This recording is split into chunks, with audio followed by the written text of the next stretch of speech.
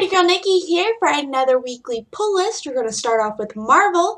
We have Howard the Duck number one, Spider-Gwen number two, Star Wars number three, Ant-Man number three, Thor number six, maybe we'll find out who this chick is, Miles Morales Ultimate Spider-Man number 11, the Spider-Man number 16, and New Avengers number 31.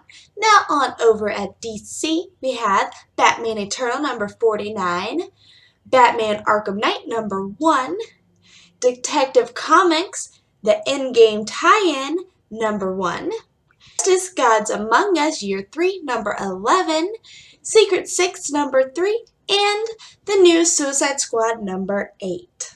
So what you're reading down in the comments down below, don't forget to check out my comic book reviews in an annotation that I'll put over here.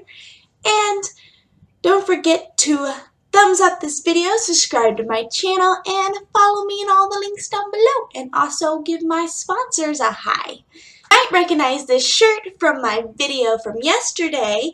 It is a St. Patrick's Day Crazy Dog t-shirt that says Lucky Bitch. Go ahead and check out my review in an annotation somewhere. And I hope you all have a wonderful day. Bye!